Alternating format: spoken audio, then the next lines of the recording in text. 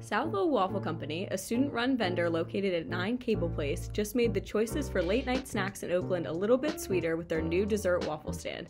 We spoke to the founders of South O Waffle Company about how the idea came about and what it looks like to run a waffle stand from your front porch. A few years back, I was in Iceland and they had waffles late at night with ice cream and cereal on it. So I decided, I was like, you know what, Jack, this would be a great idea. There's no late night dessert in South Oakland besides Insomnia Cookies, which is like way on the other side of like Oakland and is really expensive. So we're a, a, a good alternative.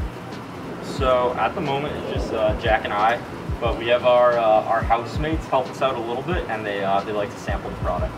We had to make a menu. We had to uh, speak with our landlord about this. Um, and then we had to talk to all the people in the apartment to make sure they were okay with us selling waffles outside of our apartment.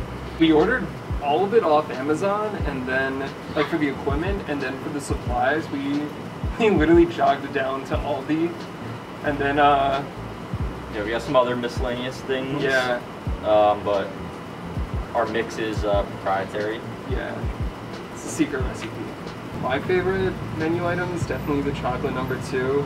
Um, it's got chocolate chips and sprinkles and it's got chocolate sauce.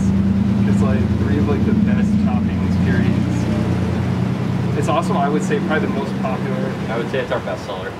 My favorite uh, menu item is the rainbow. So it's a waffle, scoop of vanilla ice cream, some maple syrup, and uh, fruity pebbles. We're at 9 Cable Place, and we're called South O Waffle Co. You can find us on Instagram. Yeah, please, please stop by. You won't, you won't regret it.